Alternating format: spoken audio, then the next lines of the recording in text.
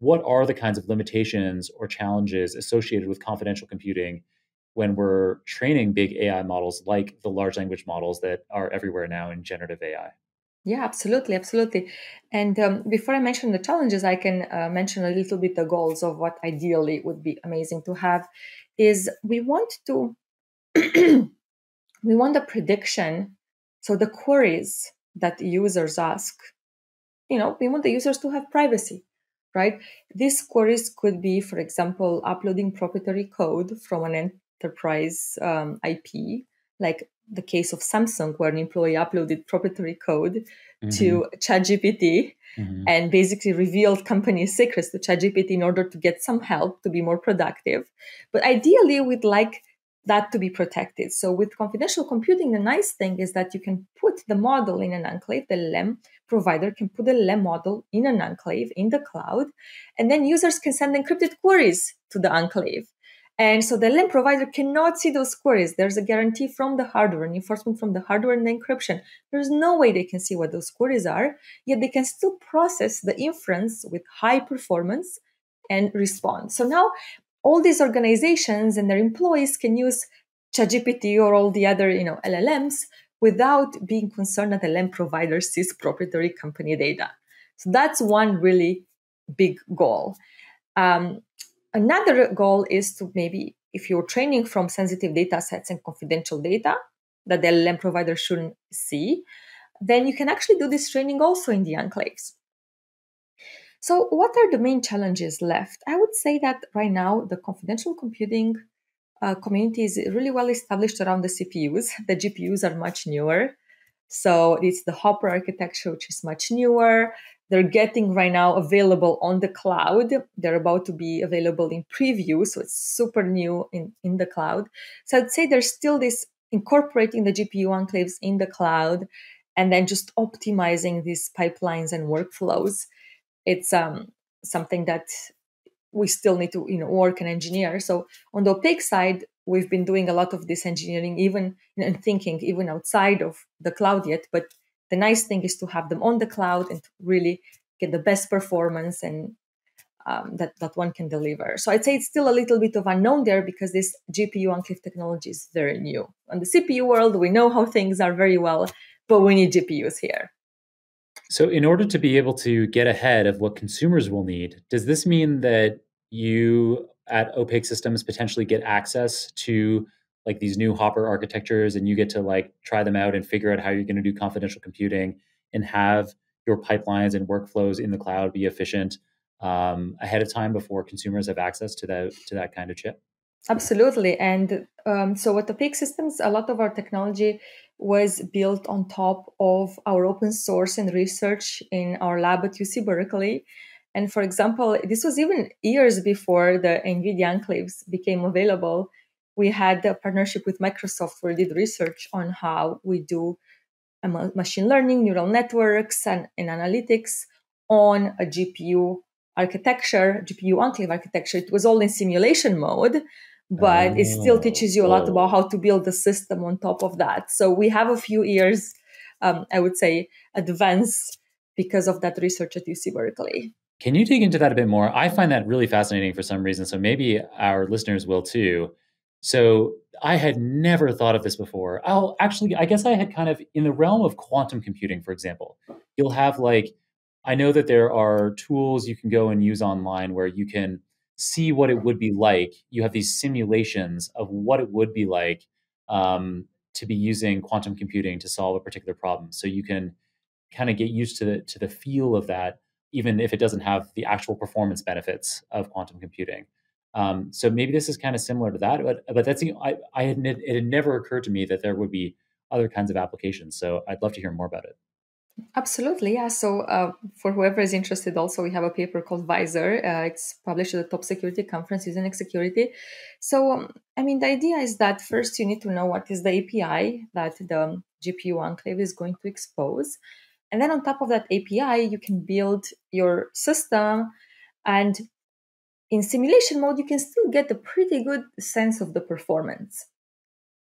Um, you, it's not going to run for real, but you're going to get a pretty good sense of maybe how many cycles it's going to take and some other metrics that you can then um, easily kind of do an estimation to the, for the real hardware. Of course, there are some differences between the simulation architecture we use Graviton and the real NVIDIA enclaves, um, but it still prepares the thinking for the real hardware. So it still gives us an advance having had the chance to work in that simulated environment. Nice. Okay. Well, I won't take us off on that tangent for too long, Luca, but that was fascinating on the simulations. Thank you. Um, so back to LLMs. Um, so at my company Nebula, we um, we have generative AI models. We have our own proprietary LLMs, and so I can see how um, these kinds of solutions you're describing, where our clients can be using LLMs without us, without my company Nebula, being able to see any of their data. So they they can feel confident in their employees sending data to us, which is important. So we hear sometimes when we are prototyping a new generative AI capability, we'll use something like an OpenAI API, GPT-4, to prototype it and make sure that it works well. But then in uh, pitches, in in client calls, prospective client calls, they say, uh, you know, you're going to have to be using your own LLMs. You won't be able to send uh, our data off to that third-party API to OpenAI. And it's because of things like people being burned, like the Samsung example that you gave, that actually comes up in our client calls frequently. Um, and it's interesting because um, while the OpenAI license is quite permissive for ChatGPT, actually for the API, they don't, unless you specifically opt in, they don't store your data for more than 30 days. And even just that 30 days that they do store it for is for the purposes of monitoring for abuse. Um, so, uh, but I, but you can see how people are like, oh no, that's a company we need to avoid. However, so going one step further, we already know some people want to be avoiding sending things to OpenAI specifically, but there are surely lots of people out there who want to avoid sending even data to me.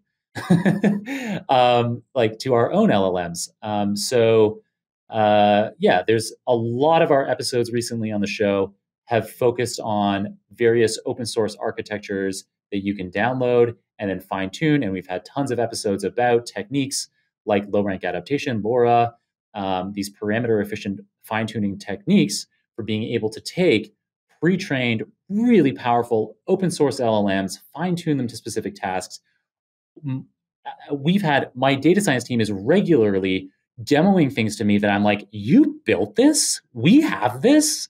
It blows my mind what's possible today. And probably regular listeners might even be tired of hearing me say it. But anyway, it's so this light bulb has gone off for me that particularly for our enterprise clients, I'm sure there are some out there that if we said we're using opaque systems to take your data and we can't see it. It's just the bare metal enclaves that are going to have access. Uh, none of your uh, proprietary information is going to be even possibly seen by us, by hackers. I can see the huge advantage to that in pitches. And uh, I don't know if I've left you with anything to say. you got it very, very right. You're very right. Um, absolutely. So I think that's really, I think a, a lot of the power of the LLMs will come when you use proprietary company data, not just the you know public web data. And exactly like you said, with opaque and confidential computing, you can put the foundational model inside LLMs and you can do your fine tuning in there on very confidential customer data. And then you can still keep the model in there right. and answer prediction results that way. Yeah, that's even a step further than what I just said because I was just thinking about inference time. So mm-hmm. I was just mm-hmm. thinking, oh, at inference time with a confidential computing system, I would be able to say to my clients, you know, we won't uh, get access to your data, but yes, I didn't. Yeah, I could be fine tuning on their data without seeing their data. That's wild. Absolutely. You could be running any part of this in confidential computing. So you could protect users' queries um, by keeping them encrypted and doing the inference encrypted, but you can also do the fine tuning in encrypted form. So you can have the whole pipeline encrypted, and then the customer really is assured that nothing about their data is revealed to you or OpenAI or anybody else. But again, there's flexibility. If they just want to, if you just want to run some part of it, for example, you say, "Hey, I really want to see that model I'm fine tuning because I, by seeing it, I can do lots of other cool, interesting tricks and whatnot. You can, and then you can keep the inference only in encrypted form and protect the user queries, or you can have the model fine tuning also be in encrypted form and say, I want to protect the data that it's fine tuning using, but then I'm going to see the model or maybe not see the model. You see, you have the perfect flexibility here of what you want to keep protected and what you want to see and who can see it. Nice. Yeah, really exciting. You're opening my mind to lots of possibilities right now in real time. It's awesome. We actually have, um, uh, so we built a prototype like this in Opaque using the Vicuna um, open source yes. model. We actually yes. developed Vicuna in our lab, in the Skylab at UC Berkeley. Uh, it's a fine-tuned uh, llama basically but it's um, we also in our lab we're running this chatbot arena where we have users compare and contrast what are the best uh, open source uh, models and actually even compared to ChatGPT closed source. And so Vicuna, our open source model, is the best performing from, from the open source one. So that's yeah. quite exciting.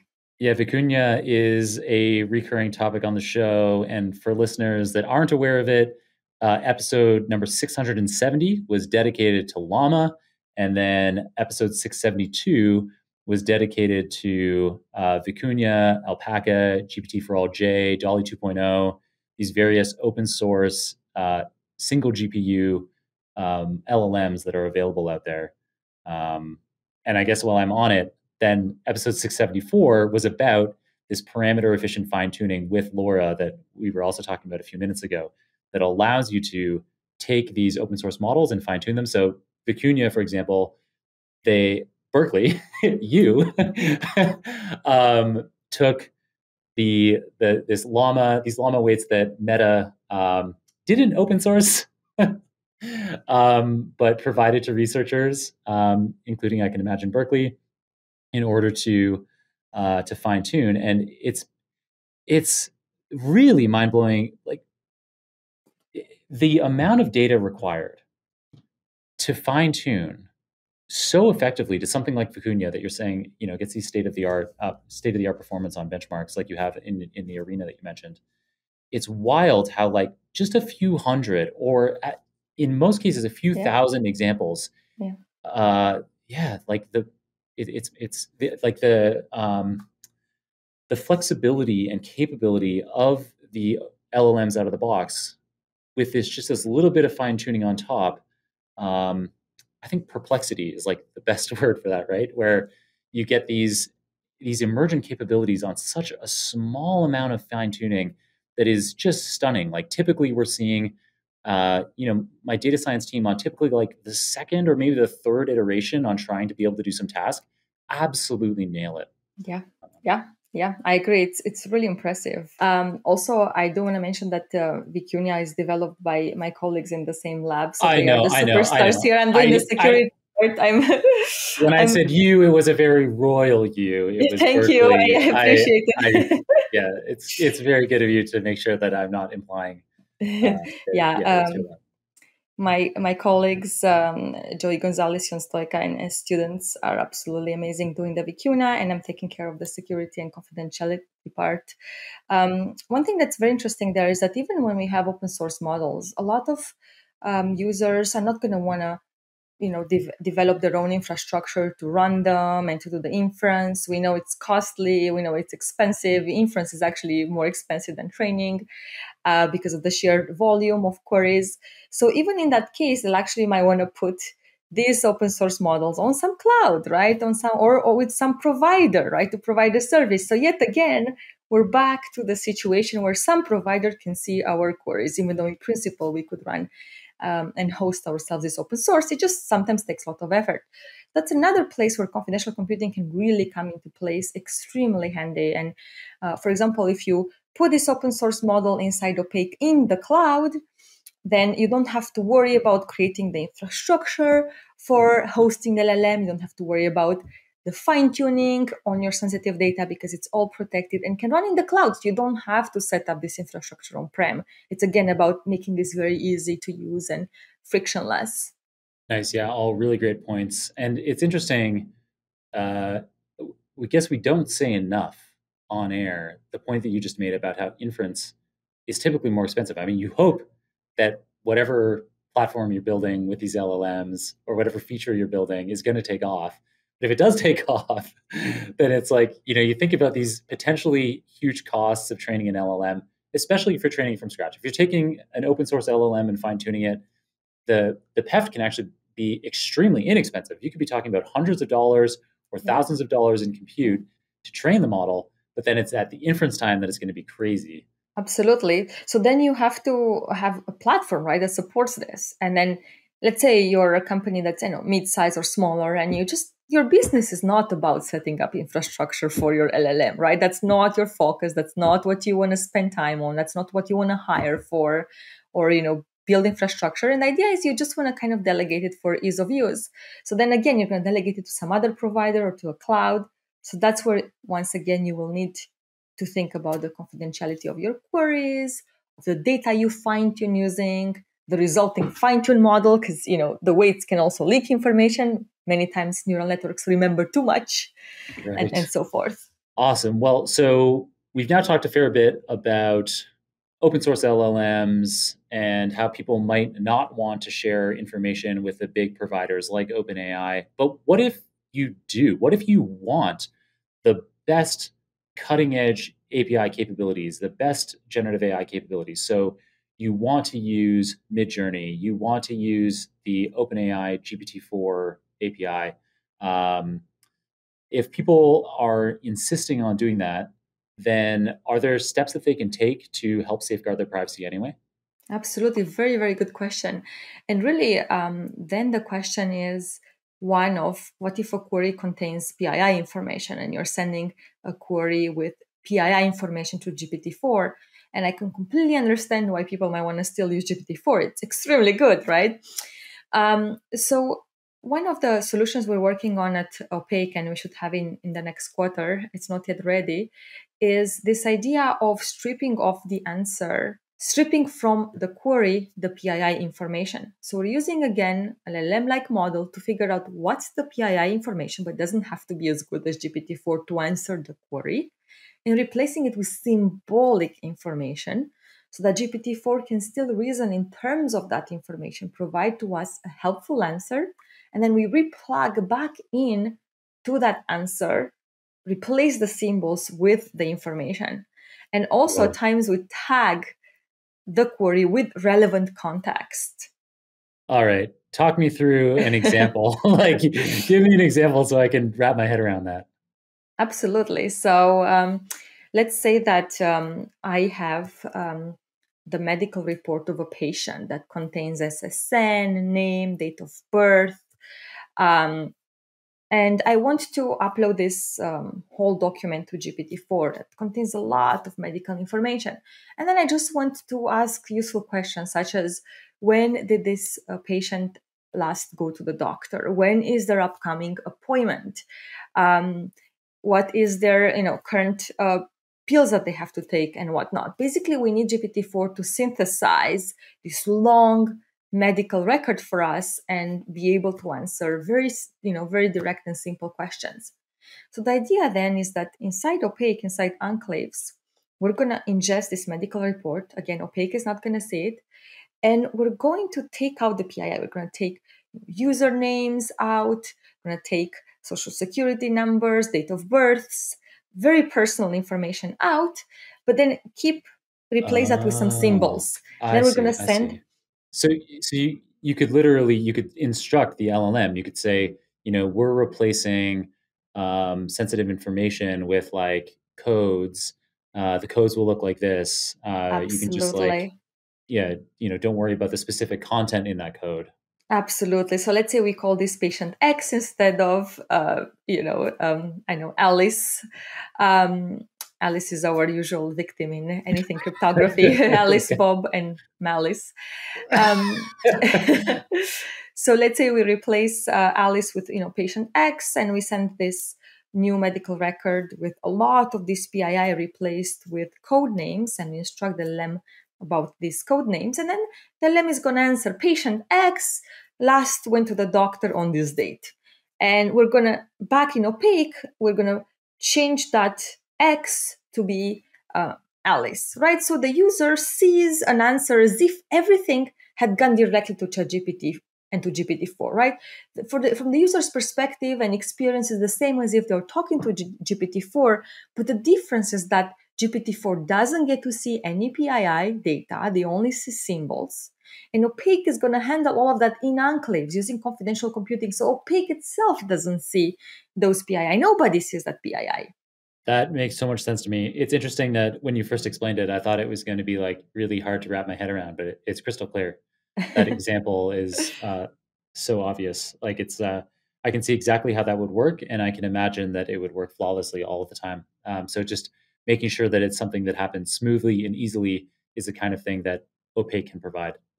Um, Absolutely. And you know, it really comes with advantages for compliance.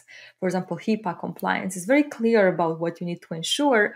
And by switching to symbols, you can ensure compliance with regulations like HIPAA.